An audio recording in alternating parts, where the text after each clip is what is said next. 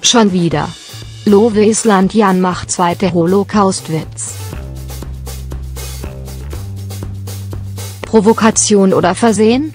Jan Sokolowski postet ein Hashtag, das mit rechtem Gedankennot in Verbindung steht und das schon zum zweiten Mal. Erst vor kurzem erntete der Lowe Island-Gewinner negative Kritik für seine unbedachte Ausdrucksweise.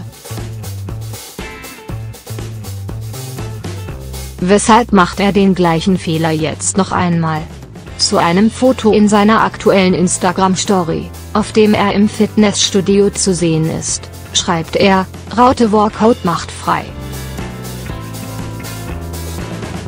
Eine Anspielung auf die Toraufschrift, die sich vor mehreren von den Nazis geführten Konzentrationslagern befand. Dort stand damals Arbeit macht frei, eine Verhöhnung der Opfer des Holocausts. Ob es sich um ein Versehen handelt, ist fraglich, denn erst Anfang Dezember musste sich der Datofan wegen eines ähnlichen Posts mit einem Shitstorm auseinandersetzen.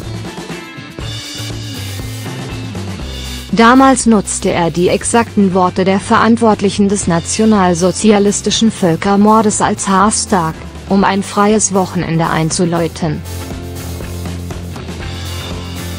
Nach etlichen Hinweisen seiner Follower auf die geschmacklosen Worte löschte er diesen nach einigen Stunden.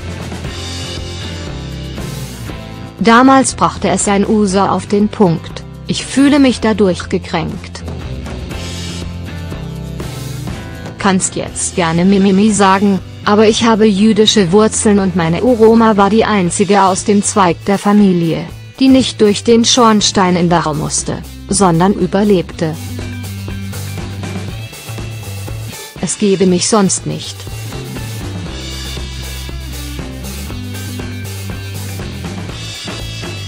Ich glaube nicht, dass das eine von Provokationen ist.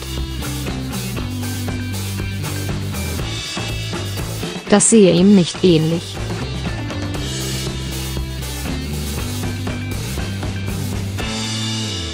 Es ist sicher ein Versehen.